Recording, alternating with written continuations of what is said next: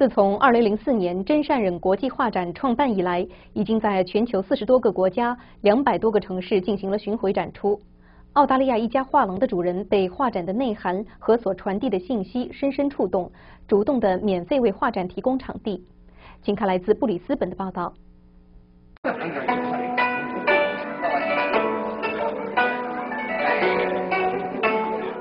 位于澳大利亚布里斯本市的西 Gallery 画廊。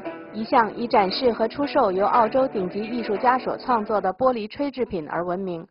从七月十九日到八月二日两周的时间里，这个画廊的主人特洛伊·威廉斯先生在此举办真善忍国际画展。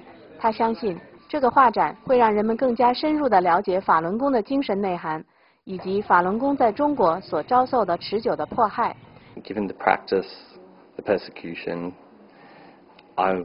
really big on human rights issues, I would want to bring it forward. 威廉斯先生谈到，这些画作是描述那些经受或正在经受着恐怖折磨的人，这其中包括部分画家本人。画展会帮助人们唤起良知，这应该是这个世界上最大的非暴力行为。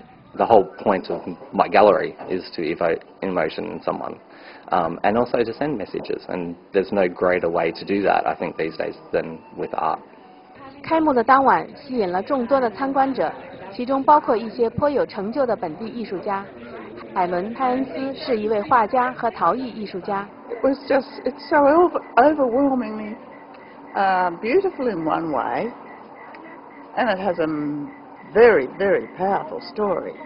Very powerful. 娜塔里·泰勒是一名艺术家和版画家。被一幅因为遭受迫害而无家可归的小女孩的画作深深触动。moved by. I was particularly moved by the little girl with the key, latch key, and the tears.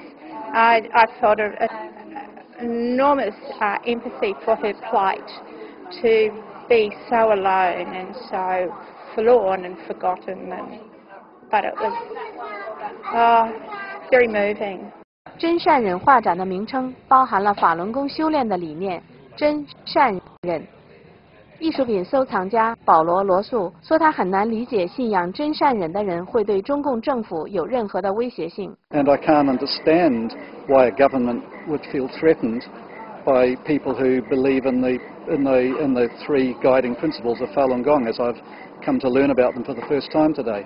威廉斯先生说：“他做事的理念是去做应该做的事。”从参观者的反馈来看，在这次画展中。他做事的理念收到了很好的效果。